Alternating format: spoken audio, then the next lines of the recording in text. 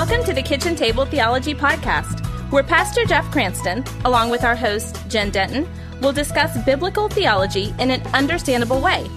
You'll discover how to apply biblical truth to your life. Thanks for joining us at the table. Let's get started. Well, hello again, y'all, and welcome back to Kitchen Table Theology. I'm your host, Jen Denton, and along with Pastor Jeff Cranston, we believe what the theologian Dr. R.C. Sproul once said. When a person says, all I need to know is Jesus, doctrine isn't important, we should immediately ask and reply, well then, who is Jesus? And the moment that person begins to answer that question, the person is inescapably involved with doctrine. That's a major got you right there. It is. Yeah. Ha As soon as you talk about Jesus, you're involved in talking about some doctrine. For sure. And here at Kitchen Table Theology, we are seeking not only to help you know solid biblical theology, but to know Jesus by it and hold the correct theological truth in your heart, soul, and mind. And on today's podcast, we're back on track with the 33 things that occur instantaneously at the moment of salvation for every believer. Beginning with episode 104, we've discussed and studied a number of those glorious truths. If you missed any, we encourage you to go back and give them a listen. So, Pastor Jeff, what are we looking at today? Or they could look at episode 104. 104, 104. 104. I had to clarify it as much as I can. You were very clear. We all know. so how, are, how have you been doing? We missed, oh, should say this. We missed a week in We- our podcast schedule. We did. We apologize to you, our kitchen table theology family. People have been sleeping outside in tents.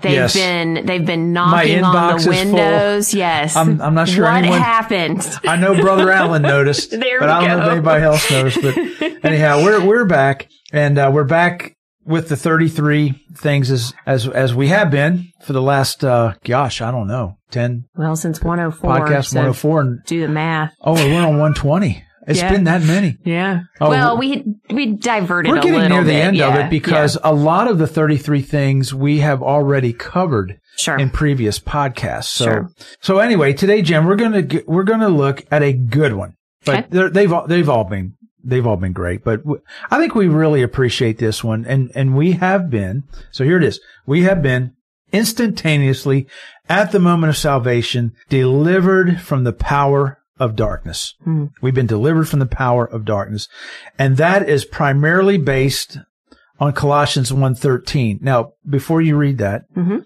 kitchen table theologian, it's always a danger whenever anyone formulates a doctrine based on one verse. Mm-hmm. That's always dangerous.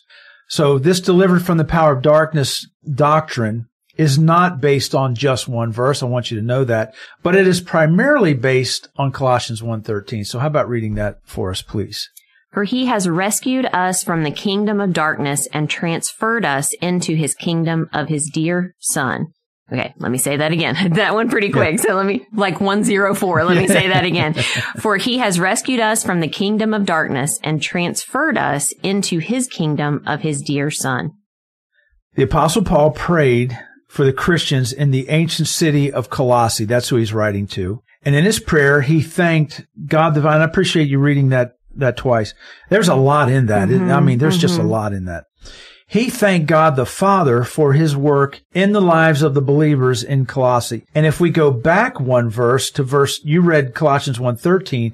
If we go back to Colossians 1.12, Paul's saying that he's always thanking the Father and the Father has enabled you to share in the inheritance that belongs to his people who live in the light. Hmm. So there's the light coming in, and then he says something about the darkness. So he expresses gratitude to the Father for enabling us to partake in the saints' inheritance. And God qualifies us at the cross by means of his mercy and grace. Now we can't assume or believe that our deeds or our spiritual achievements qualify us for anything in the spiritual realm except for hell. The hmm. only thing that we qualify for is hell. And as we read those verses, I see Paul definitely making the distinction between darkness and light. And that's kind of a theme that we see a mm-hmm. lot throughout scripture, darkness and oh, light. absolutely. Yeah. Yeah. And I think we get what it means to be children of the light Well, because that sounds good. And because we know that Jesus proclaimed that he is the light and in him there is no darkness at all. But how about explaining that a little bit more? What exactly does the kingdom of darkness mean?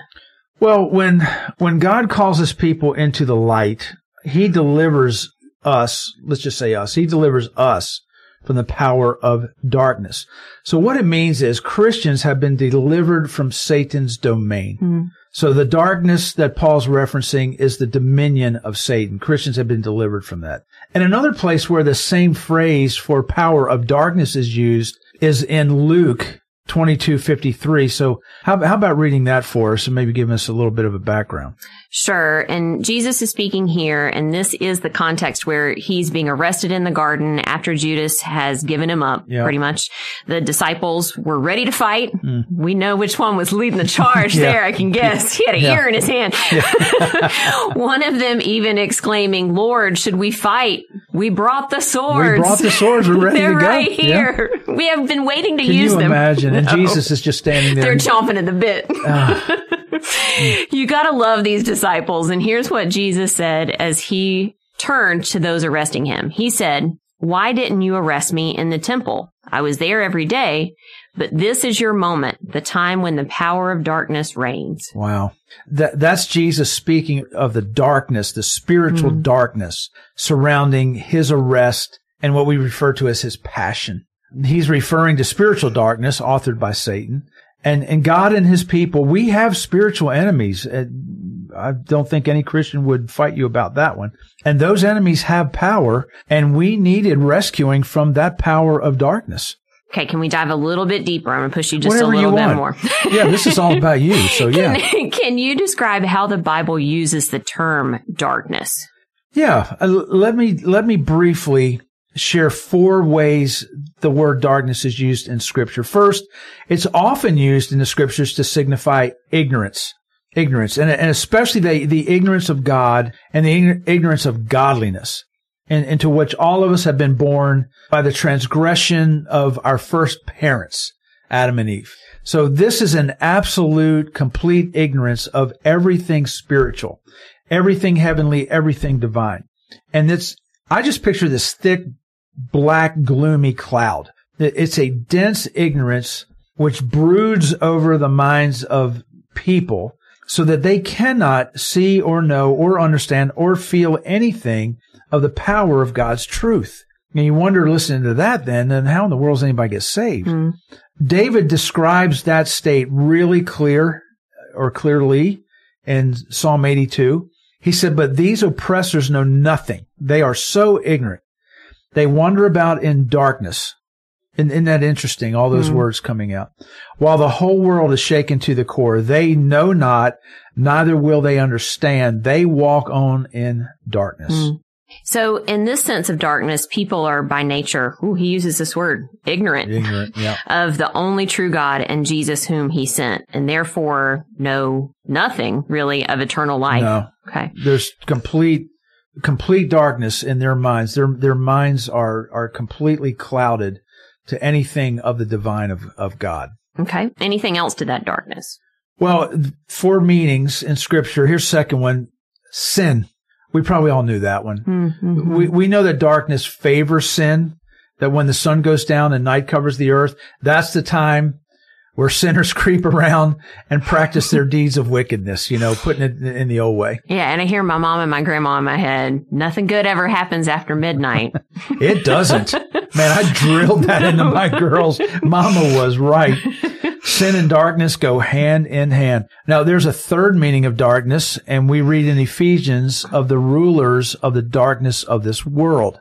And the Lord said to those who came to apprehend him, what you read moments ago, this is your moment, the time when the power of darkness reigns. So Satan is emphatically the prince of darkness. Mm. First John says God is light. So the enemy of God and man is the ruler of darkness. And, and when cast out of his present usurped dominion, I mean, that's, that's what he did. He usurped the dominion as the prince of the power of the air he's eventually he's going to be shut up in the blackness and darkness forever. Hmm. All right. Anything else? Yeah, let's do one more. Darkness is referred to as eternal misery. And Jude, man, what a statement this is. This is in Jude. Jude's the book in the Old Testament. I think there's two of them, Philemon and Jude, Hmm. where you can't give chapter and verse. There's no chapter. There's only verses. So Jude refers to quote, the blackness of darkness forever, end quote, the blackness of darkness forever. So in darkness itself, there is something naturally miserable. If you were walking, let's say you're out in your neighborhood and you're walking across a yard or a field on a dark night. Hmm. First of all, dark night seems to be kind of stupid way to describe a night. It's going to be dark. But you know, Hilton Head Island, which is where we live in that region and close by, I lived on that island for 18 years. There are no streetlights. Mm-hmm. And so at nighttime, people will often say, man, it's dark over here at night. Yeah. And it, as, as silly as it sounds, it, it really is because man, you can't, By you better, comparison by to other comparison, areas, you better yeah. know where you're going at night on, on that island. So if you, if you're walking across a yard or field on a dark night, no stars are twinkling in the sky, and Jen loves fairy dust. There's no fairy dust sprinkling around, reflecting any light. No moon is giving off its friendly light, and you, you want to get home, but you stumbled every step you took, and you utterly missed your way. You, you just got lost. Were there no other, that, that's a cause for anxiety and fear right there. Mm-hmm. Uh, Were, were there no other causes of anxiety and fear, such as, let's say it was pouring rain, or you've been walking for an hour and you're fatigued, now you're hungry, now you're thirsty. The very feeling of darkness and being enveloped in that darkness would be sufficient misery in and of itself. I ran across this quote, great preacher named J.C. Philpot. J.C. had good initials, Mm-hmm. just like me and Jesus. J.C. Not to draw a comparison or anything. Absolutely not. Uh, J.C. Philpot was preaching about all of this very thing in Stamford, Connecticut. And here's what he said to his people at his church uh, on May the 2nd, 1851. He said this, to be shut up in the blackness of darkness forever and ever. Oh, what heart can conceive or tongue express the weight of that woe? The unfathomable misery of being cast into outer darkness where no beams of mercy and grace ever shine, but the lightning flashes and devouring thunderbolts of God's eternal and unappeasable wrath forever beat upon the sinner's head, to be forever shut out of heaven with all its bliss, and crushed into hell with all its horror and all its despair. Language fails to give utterance to so fearful a doom. Now that was the power that of was darkness. Woo. we we we don't preach that way anymore, and that's the kind of thing you got to read about four times to understand all of it. But boy, what a what a picture of darkness. And when you do read that, when you focus on every little phrase of it, it helps us to realize that the power of darkness really isn't just a term, yeah, right? it's not a term or just a phrase. Sure. Yeah. And so by that, I mean that it has power and that power can sway the lives of people. There's a, a life and death nature Mm-hmm. to that. There seems to be a cause and effect to it. And Satan is its founder and author and his demonic forces spread his darkness into every life they can. Absolutely. So what are some of the effects that we might be able to discern? Well, those are those are great points. I think you're right. The um, the power of darkness can be seen in its effects, and for those who have been delivered from the power of darkness, these effects should be less and less evident in their in their life. Is that understandable? Mm-hmm. Clear as mud, or no?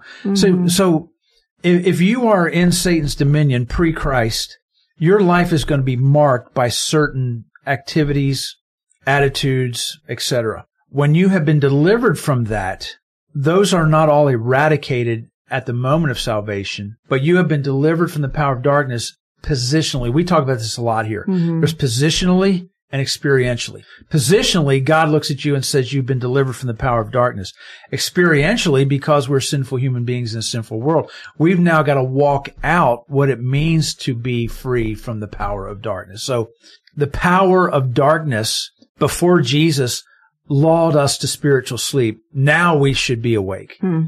The power of darkness was very skilled at concealment, all these hidden things in our lives. Now we should live life open. The power of darkness afflicts people. It depresses people. But then after Christ delivers us, we should have God's joy. The power of darkness can fascinate us.